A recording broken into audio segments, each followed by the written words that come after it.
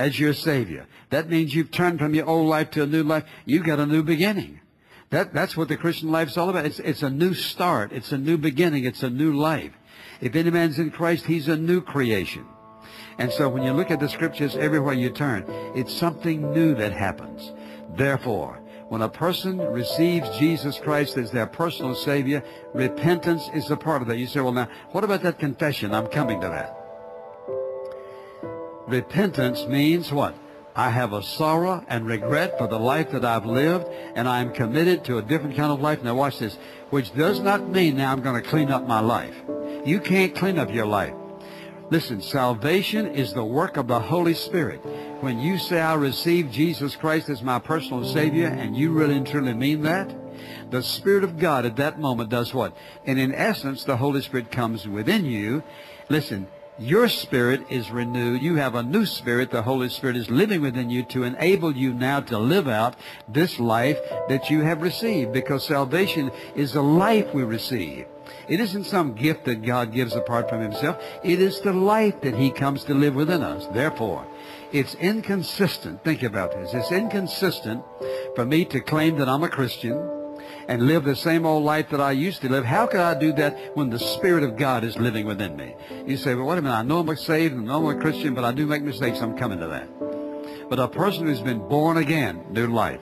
Old things passed away, new life. Repentance means what?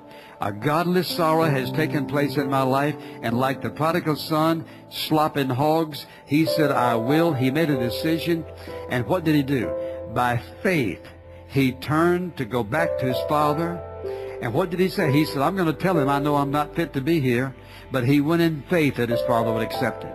He didn't say, oh my goodness, here's what I got to do. I got to get myself a bath and clean myself up and change clothes, get my hair straightened out, and really look good because I'm going to see my father. You know what he did? He got up with slop all over him or whatever they were feeding him in those days. He headed up the road. He must have looked like a hag when his father saw him. But the Bible says the only time in the Bible where God is pictured running. And in those days, dignified people didn't run. And his father went running toward him and put his arms around him and hugged him. And here he is trying to confess and repent and whatever it might be. He'd already settled that in the hog pen. I'm going back to my father where I belong, no matter what happens.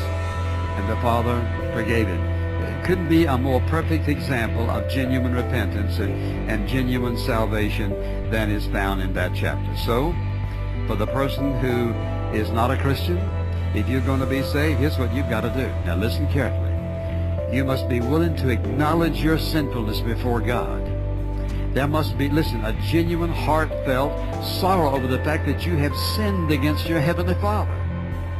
This idea flippantly saying, well, I'm going to, you know, yeah, I'm going to trust Jesus. You don't know him. In other words, this boy recognized what a mess he'd made of his life.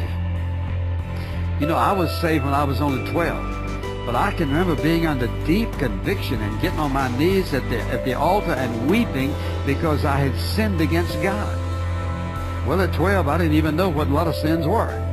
And I think about people today who just live all kind of wickedness in their life and they say, well, what I'm going to do is I'm going to join the church. I'm going to tell you, you can go to church.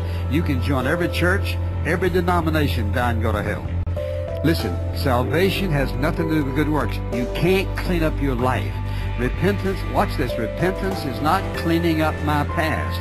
Repentance is acknowledging my past is wicked and it's sinful against God, acknowledging my helplessness and turning to Him, asking for His mercy, placing my trust in Him because He said if I would come to Him, He would forgive me and cleanse me and change my life. It's what He does in us. So somebody says, well now, but don't you have to clean up something to get saved? No, you can't clean it up. If you could clean it up, there'd be no cross.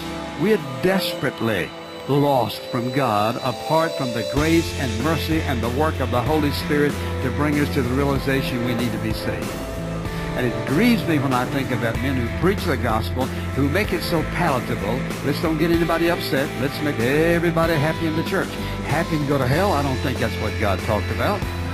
You're not going to be happy here. You're not going to be happy there. The gospel of Jesus Christ is a strong message. It is a message, listen, walk away from your sin. Listen, by faith in Jesus Christ with a repentant spirit, When you come to him with that spirit, your sins will be forgiven. Your name written in the Lamb's Book of Life. And what happened? You just, you just had an eternal change in your life.